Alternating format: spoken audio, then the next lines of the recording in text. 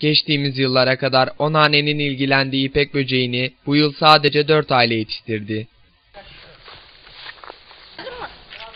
Dut ağacından hasadı yapılan damızlık ipek böceği kozasını evlerinin bahçesine getiren mahalle sakinleri el birliğiyle dallardan kozayı ayırma işlemlerini tamamlayarak koza birlik yetkililerine teslim etti.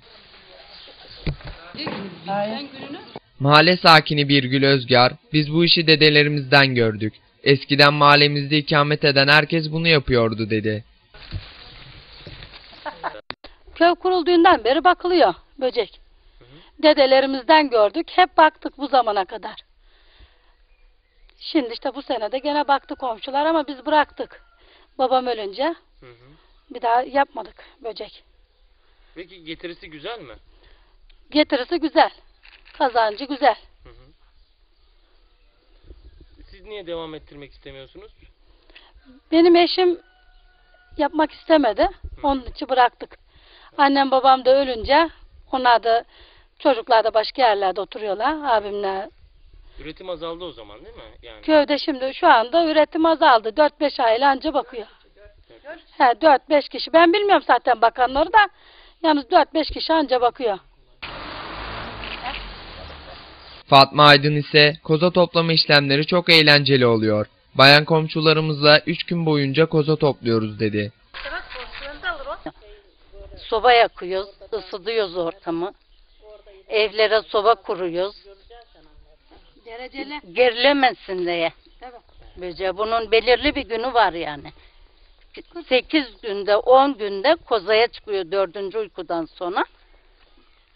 Bu hardal deriz. Hardal otuna çıkıyor. Meşenin bir bunların çeşitli meşe yaprağına çıkmaz. Her bir meşe yaprağına çıkmıyor.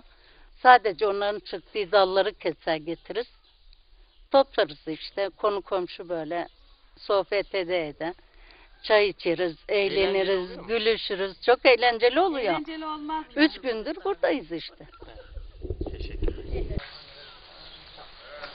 İpek böcekçiliği hakkında bilgilendirme yapan İhsaniye Mahallesi muhtarı Hayati Çiçek, koza toplama işleminin tamamlandığını ifade ederek, bu sene rekoltemiz 500 kilogram oldu. Kalitemiz çok iyi. %2 oranında ancak firemiz vardır dedi. koza toplama aşaması bitti, sona erdi. İşte gördüğünüz gibi artık e, yeni sezona hazırlık diyelim yani. Bitişin hazırlığı da başlamakta bununla beraber. E, bu sene rekoltemiz 500 kilo, kilogram civarında. E, kalite de çok iyi. Yani %2, %3 fire anca var. İyi yani bu sene kalitemiz de iyi, rekoltemiz de iyi. Biliyorsunuz işte İnegöl'de bir tek bizim köyümüzde yapılmakta bu. Büyükşehir'i bilgilendirmelerine rağmen hala bu konuyla alakalı çalışmanın yürütülmediğini savunan muhtar Çiçek, destek almazsak bu iş burada bitecek, yok olma aşamasına geldi ifadelerini kullandı. Ve her geçen gün artık işte bu sene son 4 haneye 5 haneye kadar düştü. Bundan sonra da artık son demlerini oynuyor büyük ihtimalle. Destek alamazsak bu iş bitecek yani bundan sonra. Yok, olma aşamasına geldi. Biliyorsunuz Bursa İpek İpekçilik şehri Bursa. Ee, Büyükşehir Belediye'mizde İpek Böceği adı altında tramvaylar yaptılar işte biliyorsunuz. Ee, bir şeyi e, üretiminde de yaşatmak lazım bence. Yani işte onun adını veriyorsan İpek Böceği tramvayı adını veriyorsan e, burada da üretimi var.